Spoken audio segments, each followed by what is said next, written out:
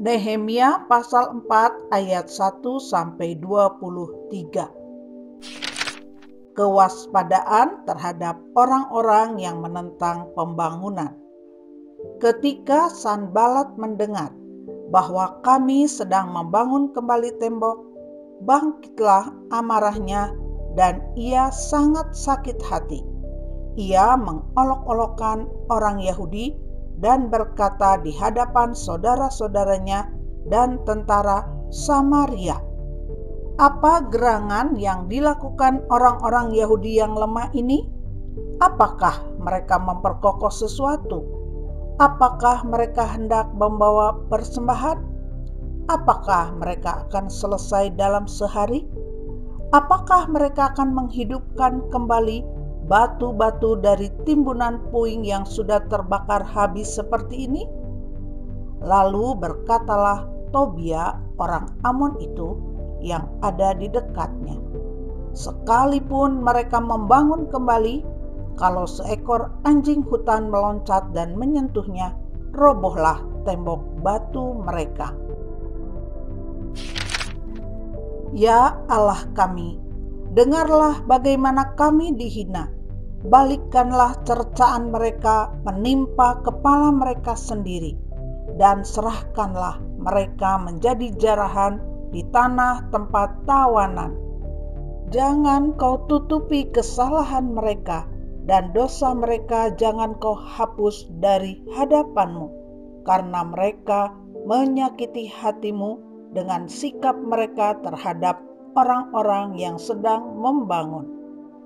Tetapi kami terus membangun tembok sampai setengah tinggi dan sampai ujung-ujungnya bertemu, karena seluruh bangsa bekerja dengan segenap hati. Ketika Sanbalat dan Tobia serta orang Arab dan orang Amon dan orang Asdod mendengar bahwa pekerjaan perbaikan tembok Yerusalem maju dan bahwa lubang-lubang tembok mulai tertutup maka sangat marahlah mereka. Mereka semua mengadakan persepakatan bersama untuk memerangi Yerusalem dan mengadakan kekacauan di sana. Tetapi kami berdoa kepada Allah kami dan mengadakan penjagaan terhadap mereka siang dan malam karena sikap mereka. Berkatalah orang Yehuda, Kekuatan para pengangkat sudah merosot dan puing masih sangat banyak. Tak sanggup kami membangun kembali tembok ini. Tetapi lawan-lawan kami berpikir, mereka tidak akan tahu dan tidak akan melihat apa-apa sampai kita ada di antara mereka, membunuh mereka, dan menghentikan pekerjaan itu. Ketika orang-orang Yahudi yang tinggal dekat mereka sudah sepuluh kali datang memperingatkan kami, mereka akan menyerang kita dari segala tempat tinggal mereka.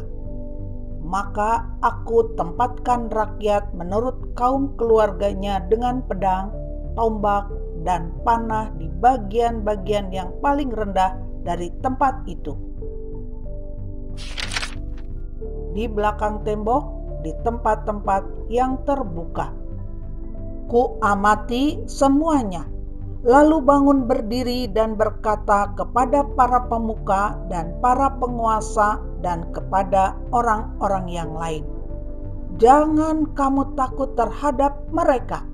Ingatlah kepada Tuhan yang Maha Besar dan dahsyat, dan berperanglah untuk saudara-saudaramu untuk anak-anak lelaki dan anak-anak perempuanmu, untuk istrimu dan rumahmu.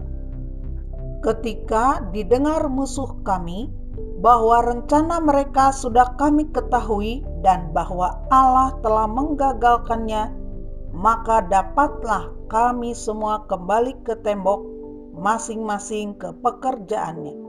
Sejak hari itu, sebagian daripada anak buahku melakukan pekerjaan, dan sebagian yang lain memegang tombak, perisai, dan panah, dan mengenakan baju zirah.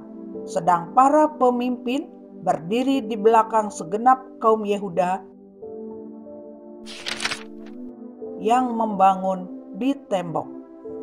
Orang-orang yang memikul dan mengangkut melakukan pekerjaannya dengan satu tangan, dan dengan tangan yang lain mereka memegang senjata.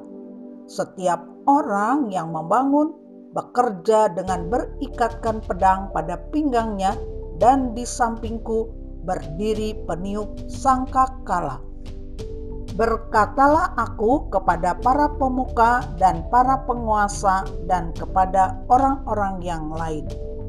Pekerjaan ini besar dan luas, dan kita terpencar pada tembok yang satu jauh daripada yang lain. Dan kalau kamu mendengar bunyi sangkakala di suatu tempat, berkumpullah ke sana mendapatkan kami Allah kita akan berperang bagi kita. Demikianlah kami melakukan pekerjaan itu, sedang sebagian daripada orang-orang memegang tombak dari merkahnya fajar sampai terbitnya bintang-bintang. Pada waktu itu juga aku berikan perintah kepada rakyat. Setiap orang dengan anak buahnya harus bermalam di Yerusalem, supaya mereka mengadakan penjagaan bagi kami pada malam hari dan melakukan pekerjaannya pada siang hari. Demikianlah aku sendiri, saudara-saudaraku, anak buahku, dan para penjaga yang mengikut aku. Kami semua tidak sempat menanggalkan pakaian kami. Setiap orang memegang senjata dengan tangan kanan.